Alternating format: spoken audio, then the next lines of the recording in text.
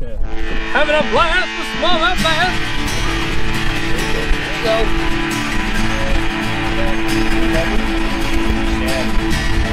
There Take both. you go. Yeah. Look how he ate that blade, baby. That eat. Oh, Check that. right there. Man, I'm so happy. Yes, sir. Well, it is December 8th, 2019.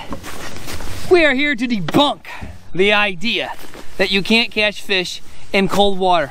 38 degree water all day long, and we had a blast with smallmouth bass. We absolutely did. I'm uh, stuck on stuck. Stuck on the lake with one of the hottest anglers in all of northern Indiana, southern Michigan, Mike Raber. Now, Mike uh, out here said we're gonna catch smallmouth, and like a prophet, we did. We caught some smallmouth. We And- did. Yeah, so. Got some got some meat on him. The sick thing is, I'm guessing, I'm guessing, because I lost track. Three dozen smallmouth today, yeah. handful of probably well over largemouth, Thirty fish. Yeah. and he said it was a bad bite.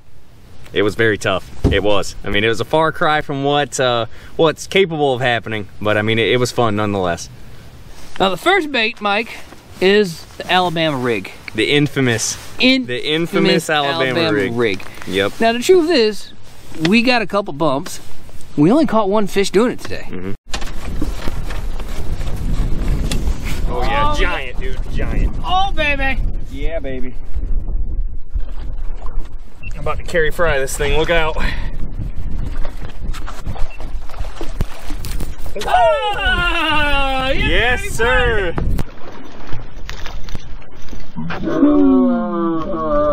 Yes, sir! That's what we've been waiting for right there, Yeah, boy. man. Yeah, so we switched up that A rig. Um, you know, pulling out deeper. This fish just aren't pulling up on the break like I had hoped they would or expected them to. Um, so you know, now we're gonna grind out there deeper. Those fish are definitely have to be shad, and uh, I think it's gonna take both of us going after them to get some more like this. Yeah, baby. There are a lot of different ways to rig this thing, but Mike has come up. If you're in a state where they're only allowed three hooks or two hooks, Mike has got the way to rig this thing. So, you know, uh, growing up in Indiana, you know, doing most of my fishing in Indiana, when it comes down to it, when I fish a place that, that I can only use three hooks, uh, I, I used to, you know, not really be confident in that. I used to get a lot of hits on my dummies and, you know, didn't know what I was doing. And, uh, kind of over time, I found a way to rig this that's that's really effective uh, when you have to have dummies. In general, you can see my rig here. So I've got my three larger baits um, down here on the bottom. You know, a little bit bigger profile, heavier heads. Today we were fishing 20 to 25 feet deep, uh, so these are all three quarter ounce heads. Uh, on the top, you can Now see those heads, who makes those heads? these are bite me heads. Yes, these Bite are me these, tackle. Yes, they are the the shaky ball, um, and that's the that's the head that I use. You know, it's um, has a great hook, great um, Gamakatsu hook. It, it does a great job. Imagine Um, that, bite me baits getting bit, huh? Yep, Yeah. absolutely. You know, in, in general, you look at the profile of the rig, these swim baits up here are just three inch swim baits. They're just generic three inch swim baits. They're not in a, a color that's going to draw much attention. Kind of just there for the sake of the vibration and the overall look of the rig. Um, so I want those to not be that noticeable to a smallmouth or to a largemouth in whatever case. Um, so the first thing I do, I take my three arms down here and I take those down a little bit, um, you know, out here at the end. So you really kind of get that profile where it hangs below the school. Because a bass, more often than not, is going to come from below to eat an Alabama rig. Uh, and so I take top two baits that you can see, and I take those arms and I bend those up. I want those to get up and away from uh, from anything that, that is going on down here. I want those fish when they come into the school. I want them to pick out one of these swim baits and eat it. I don't want them to mess around with the baits up here. Um, but really, I guess the unique way of doing this that I've that I've done is I take all the hardware. You can see on one of these uh, the hardware itself. You know, there's a swivel and a snap. Uh, but up top, I take that hardware off so that my rig can't spin, and I take a hitchhiker um, you know, this is a medium-sized hitchhiker, and I just tie, you know, put it directly on that wire. Um, and so there is, you know, there's no ability for that bait to spin. So when you're bringing it through the water, it stays upright, and that tail just kicks. Instead of having it, you know, just rolling, you still get that appeal of it's it's a acts like a true swim bait. So everything we're doing here that you see on the video, links to it are in the description to help you out. To click on, just go through the description. You actually we got relevant videos, other videos and such that are relevant to what we're doing today and help you out as fishermen. But we also provide links in there of every bait we're using. Um, I'm curious as to how. Well, I know how, but if you could share with everybody how you're working it.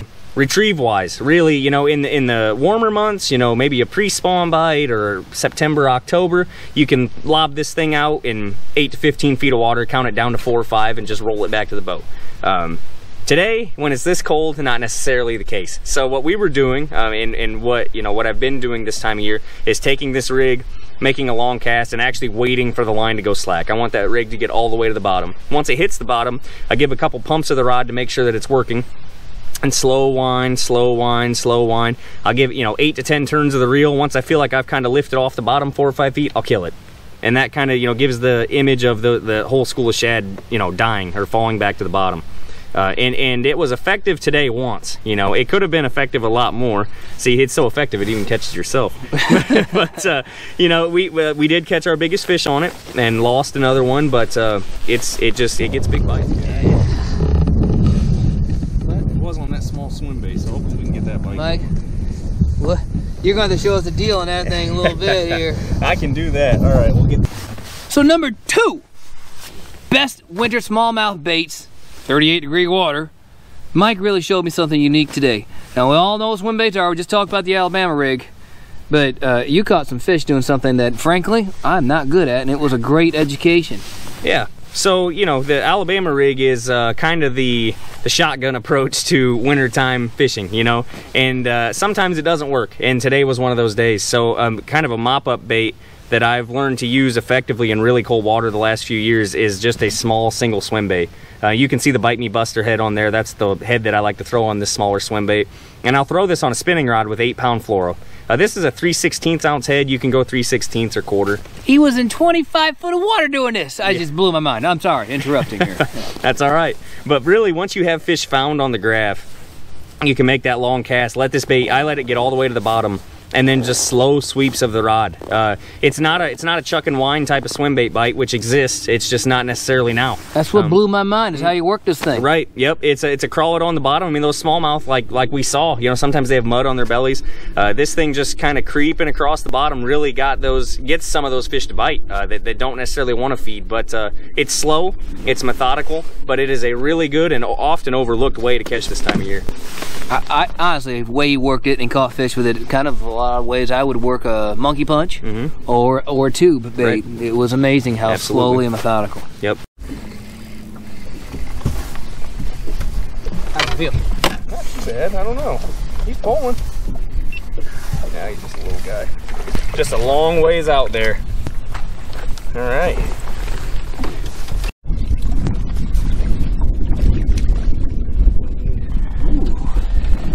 back on some better fish. it doesn't seem like there's any size here today, which is the opposite of how things were last week. Well, you got the numbers here though, Mike. Yep. There's definitely a few fish in the area. Uh, yeah, they're not big. No. Not yet. Can't emphasize enough. Catching this main fish in December. 38 degree water.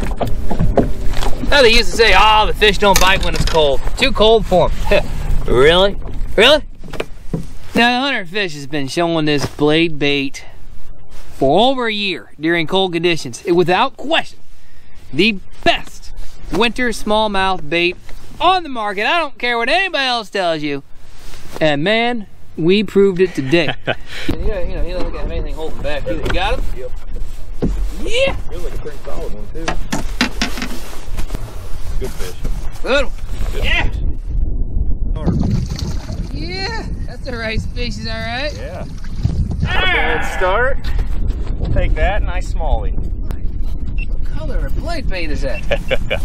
yeah, that's a. Back on, huh? That's the old. Uh, that's the Raburnator perpetrator, I believe it's called. perpetrator. the Raburnator perpetrator. I love it, man. Yep, it's a uh. Shit, bad boy you know, and it's one of those things I don't necessarily have answers for, but when it comes to smallmouth, um, purple really, you know, just one of those things I kind of got on. When it's really low light conditions like that, purple seems to be a really good color. Yeah, see, I'm just throwing them out there. Yeah. Just throwing out there. Everybody can see what Mike's throwing now. Here yeah. on December 8th, and it, it's so common this time of year especially i mean when you have water in the 40s maybe not you know it, other things come into play a lot when you get below the 40 mark this thing's unstoppable i mean it, it is by far the the number one option when it really comes down to it uh, it's just deadly. Fishing family, but they're Yeah, so. got some got some meat on him. Those things eating good, huh? Yes. Yeah, they're getting big on purple blade baits. That's that's, that's what they eat. You know who doesn't have purple blade bait with them? Yeah. Let me tell you what I'm going after, Mike. Big old Yeah, oh, yeah, oh see? boy, you did too. All right, we're going to carry fry. We're going to carry All fry this thing. Here it comes. Let her carry rip. fry. Woo! Yeah! Ah, nice That's fish. how the hunter and fish does it. nice fish. But It's phenomenal. it was phenomenal. Uh-oh, Mike, we got ourselves a double. Uh-oh. Yeah, Oh no. Oh, we had ourselves a double. the largemouth. It is a green one. Yes. Look how he ate that blade. See, you know, Mike, you catch the small ones, I catch the large ones, but yeah, look how he ate that blade bait. Yeah, That's, wow, what a sign we are into. There we go. Check this out. We need to get this on camera. Look at that shad. Holy cow, shove that way up, put it right up next to him. Look what he's eating. Oh, Check that cow, out. can I pull it out? yes, sir. That's what they're down there after. I mean, now check out the profile oh, and look the kind of doing. yep, in that purple tint. Look at that. That's pretty cool. It's a testament to blade bait fishing this time of year. I mean, that's really what they're doing is eating dying shads. There we go. There you go. Right on cue with the, Yes, that sir. sun. And you also switch colors. I did, yeah. You know, that sun came out and get a little bit of shine in the bait. I think he's just copying me because that's what I was doing all morning. Whatever he says. You know, there's so many ways you can fish for fish that are deep, uh, and you don't have to fish this deep, but today we were. There's so many ways you can do that, but there's only so many of those ways that get to the bottom so quickly, you can fish so slowly and keep it in the strike zone. Know what we're doing, Mike? We're having a blast with smallmouth bass. Yes, sir. Oh. Yeah, the game's not. Hey, chunky though. You can see they're eating. He ain't so shabby, Mike. No, sir. Should I carry fry it? you oughta. I'm gonna carry fry it. Here it comes. Ah, yes, sir. And that's how you want him to eat it. Look at there, deep inside his mouth. Whew. Gosh, you know this is this is such a blast with smallmouth bass and Mike Raber. He's a lot of fun.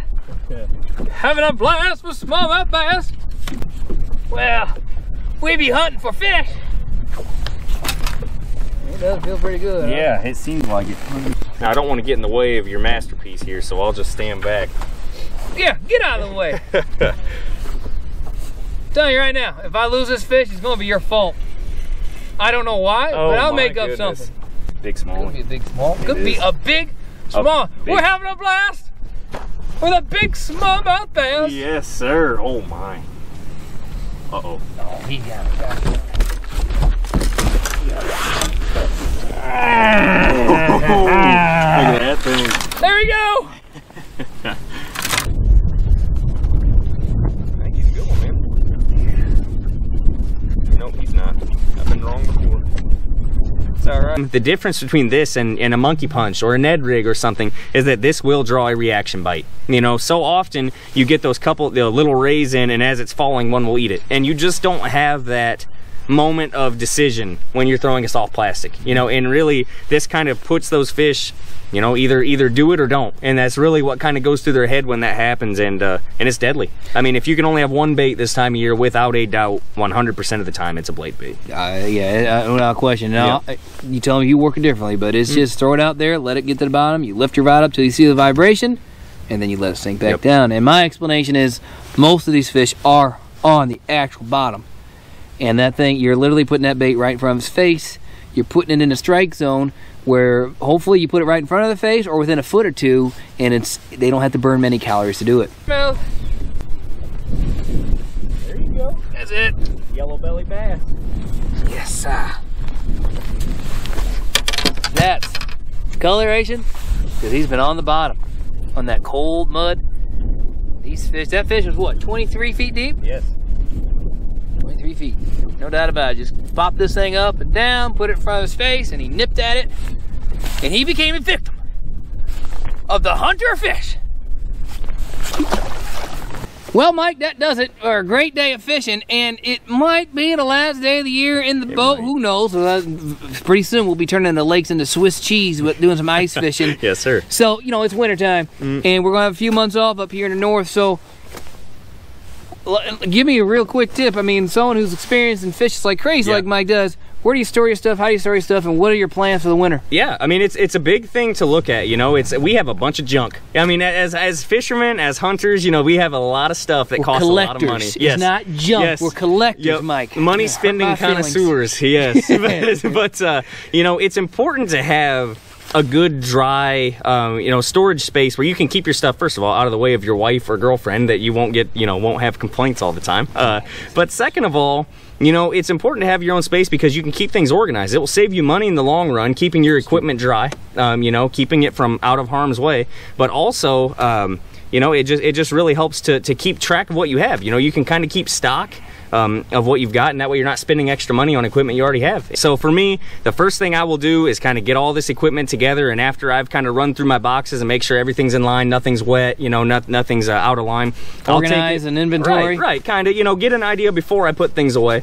But then I will take it, uh, you know, I got a barn from Sunrise Structures, and uh, they do a great job. It gives me a spot to keep my stuff outside.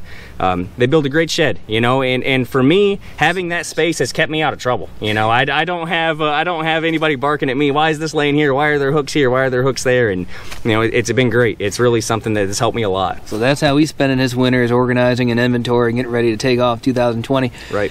Mike, thank you very much. I've got good news for you. Okay. Now, it was unofficial at the time if you were going to make it or not. but I think Mike has earned his certification. You are a hunter of fish. Thank you, sir. Congratulations. You have graduated. Outstanding stuff. Hey, we are not done filming. We are fishing all winter long. Thanks for tuning in. Until next time, we're gonna see you back on the water. Yeah. Hard not to. He's eating so good, he's pooping. That's disgusting. Get out of my boat. You boss way, I'm finding out. It's a good fish. Really good. Hey, look, I don't know. Fish or snagger fish, whatever you want to call it.